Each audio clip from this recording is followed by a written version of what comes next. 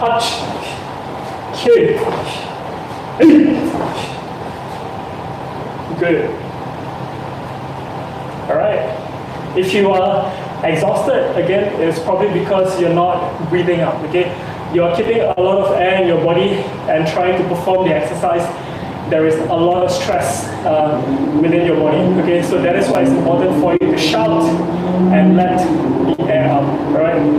Let's try for the left side, 10 counts. Okay, T, H, B, Sa, She, Go.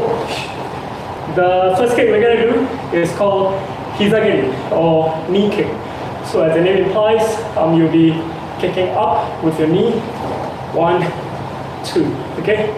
We take this opportunity to do it as a stretching exercise. So if you can, touch your chest with your knees. Okay? H, A, Sa, She, Go. Hizagiri or to kick at the groin. Alright? To generate power for the groin kick, we're going to do a wind up. The wind up requires you from the starting position to lead with your knee. Okay? Open up and do a flick out or groin kick to the target. Okay? Go. Rope. Sit. Touch. Cue. Before the next um, kick, we're going to do some um, exercises, okay? I'd like you to tap the ball of your right foot on the floor, like this. Just feel which part of the foot you're using to hit the floor with. Next, we're gonna lift up our knee. So bring it up as high as you can, okay? For those of you who are um, a bit more um, practice okay, um, you can let go and just pull up your knee as high as you can. Okay, so make sure you're lifting it in front and not at the side. So watch my supporting legs here. So if, right now my toes are pointing straight. If you keep your toes straight, you can probably lift up your knee up to a certain point. For you to lift up your knee even higher, you will need to point your toes outwards, all right? So this is what we do. Point your toes outwards, as you lift up your knee as high as you can. Okay, so again, uh, if you can, just let go, pull it back. So this is to condition or train your body to have the correct position right before you perform the kick. Okay, so the next kick we're going to do is called maegiri or front kick. So basically, as the name implies, you're kicking to the front. The point of the foot you want to use is the ball of the foot. The target you want to hit is at your um, body okay, or the midsection.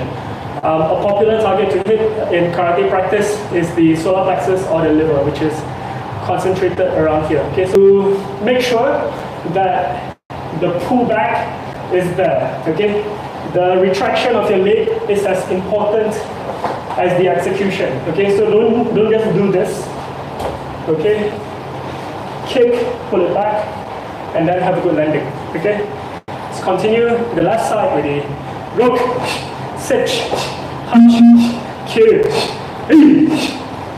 If um, just now you have your knees in front, this time I want you to have your knees on the outside. Okay, like this. Okay. So basically, um, make sure there is a space between your one leg and the other, with the knees pointing up. If you're not as flexible, having it lower is fine but make sure the alignment of the leg is correct. Okay, the knee should be pointing outwards. Okay. So the next kick we're gonna do is called Mawashi Giri. So Mawashi, as you know, is the roundabout direction. Uh, Mawashi Giri, therefore, is to kick um, from the outside in, okay, in a roundabout fashion. Go, go, sit, touch, kick, eight. We're gonna do um, side kick techniques this time. As you turn to the side, have your feet together. And have your knees slightly bent. Okay? With your hands to the center of the belt. If you don't have one, just um, have it like this. I want you to have your foot locked in this fashion. Okay? So the foot has to be in a horizontal uh, line. This is um, not correct. Okay? make sure you have it horizontal with the blade of the foot pointing up. If for whatever reason you cannot walk your foot like that, at the very minimum, have your foot um, horizontally like this, okay? With your soles up, that's fine, okay, but make sure you have your foot um, horizontal like this. This is called Yoko Keage Giri, so that means um, rising kick. So look at where you're going and raise up as high as you can. One, two. Are you falling out of space uh, of um, your space every time you land?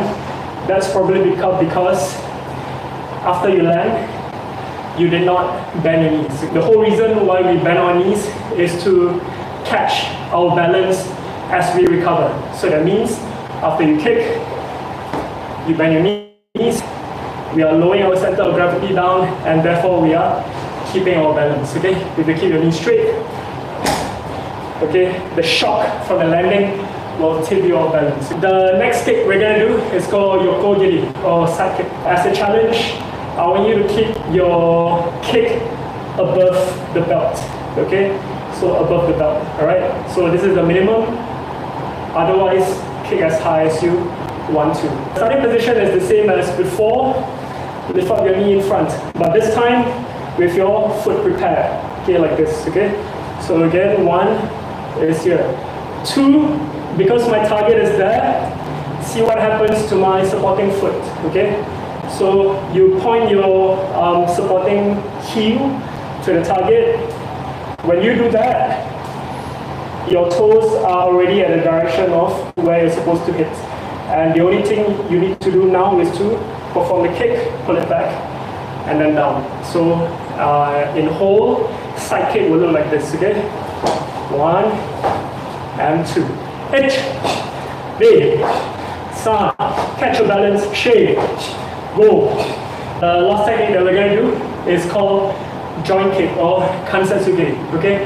Which joint we're going to kick is the joint of the leg or your knee. Instead of kicking up, we're going to be stomping it downwards, okay? Move your heel as before. That points to the direction of where you want to go. Kick to the knee, bring it back, and recover. Go, rope, sit, touch, kill. Good job. And all right.